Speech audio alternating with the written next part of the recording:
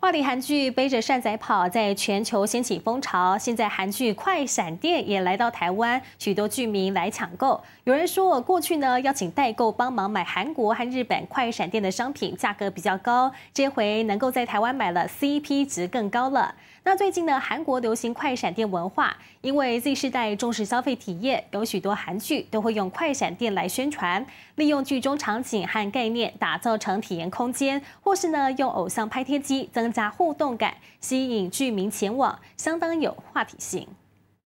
如果喜欢的女生说她来自未来，你们会怎么样？当然立刻死心啊！校园青春爱恋发展让人看得脸红心跳，加上奇幻穿越时空，让韩星边佑喜和金惠云主演的《背着善仔跑》受到广大剧迷喜爱，而正在追剧的影迷现在还能身临其境。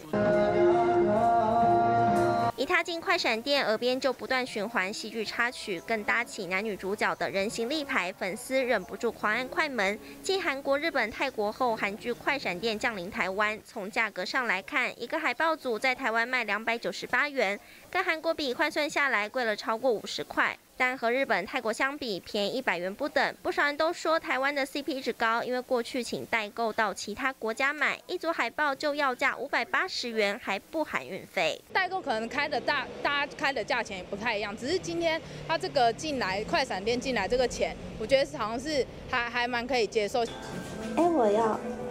跟着偶像摆 pose 超亲密，宛如就在同个时空。韩国近期消费形态改变，因为 MZ 世代重视消费体验，不少韩剧都会用快闪店来宣传销售，像是《泪之女王》《鱿鱼游戏》等，都是用剧中场景和概念打造体验空间，或是用偶像拍贴机增加互动感，还能与餐厅结合，话题性十足。是所谓一个联名的方式，好，但他可能会去跟一些所谓的餐饮业，好去做联名，那有些周边的产品的产出。现象级韩剧搭上快闪店祝。各式周边让剧迷收藏，加上打卡分享，成功制造更大名气。接张曲王秋明台报道。